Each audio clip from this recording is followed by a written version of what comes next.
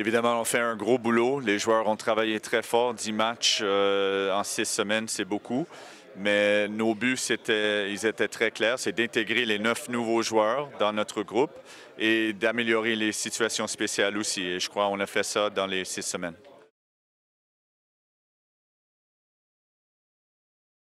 L'intégration, c'est quelque chose de très important. Ça doit être quelque chose de naturel aussi, pas forcé. Mais on a fait notre boulot, on a fait notre travail sur les joueurs en sachant exactement qui on amène, on a recruté. Et euh, la première chose, c'était le caractère des joueurs. Ils doivent, ça doit être un, bon fit avec ce qu'on a à Lausanne, travailleurs, fiers d'être lausannois. Et je crois qu'on a des bons personnages, non seulement dans le vestiaire, mais aussi sur la glace, qui peuvent s'exprimer. Euh, notamment un Odette Kovacs qui peuvent améliorer les situations spéciales de power play et un Salomaki euh, en box play qui, qui est vraiment un grand travailleur.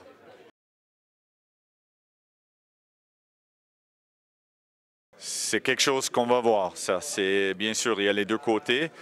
D'un côté, je crois en court terme, les joueurs auront moins de place, euh, les jeunes, mais ceux qui vont percer éventuellement vont être des meilleurs joueurs. Et ça, ça va aider l'équipe nationale. Mais bien sûr, on a notre partenariat avec euh, qui est très important pour nous.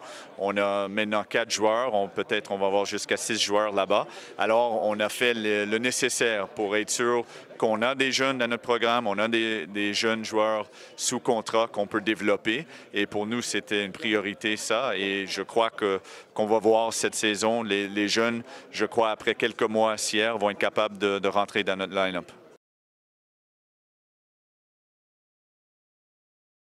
sportif, comme tout le monde, c'est, je crois, la réponse va toujours être de faire les playoffs. La meilleure chose serait bien sûr euh, les six premiers, comme ça on n'est pas dans, les pre-playouts, mais euh, écoute, c'est ouvert à, tout. Euh, si tu arrives septième, huitième, tu peux rentrer et puis là, tu peux faire... Euh, les playoffs, c'est une deuxième saison. Alors, vraiment, la priorité, c'est de rentrer dans les playoffs et après la deuxième saison, de faire aussi mieux que possible.